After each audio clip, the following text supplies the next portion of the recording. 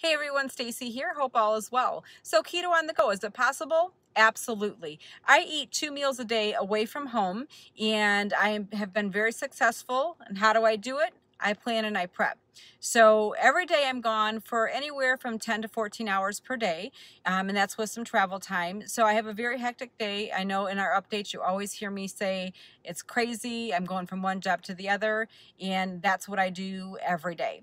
So it's possible. I take the time and I prep my meals, I weigh it out, and I get my snacks ready, and I leave the house every day with two meals and snacks for those two meals. If I didn't do that, would I cheat? Absolutely. There's a Culver's right outside of uh, Costco. Absolutely, I would go there and get a burger and fries. I would not be able to stay on keto if I didn't plan and prep as much as we do. So watch the video. You'll see what I eat in a day. And this is pretty typical for me. So I hope you enjoy. Have a good one.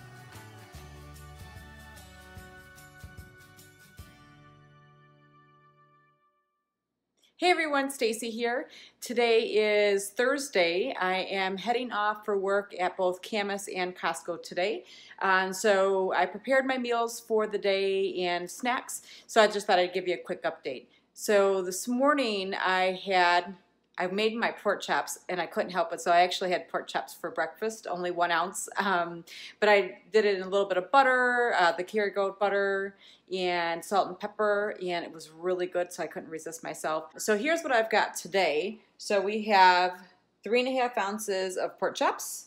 I have three ounces of egg salad, two ounces of the Kirkland almonds, a mozzarella string cheese stick, um, we have two and a half ounces of Caesar salad and of course two waters to start off with. I do refill my water bottles through the day. I try to get at least three of them in. Those are 20 ounce bottles. I do try to get at least three of them in. Gets a little difficult, uh, especially for my evening job tonight. I'm working at Camus this evening where you're kind of tethered to the headset and so I don't get a chance to get up and go to the bathroom as often as I would if I drank more water.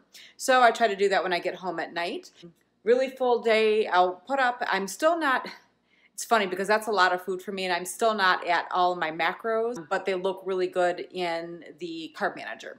So we'll go ahead and we'll get that updated for you. Bill will put a picture up for you.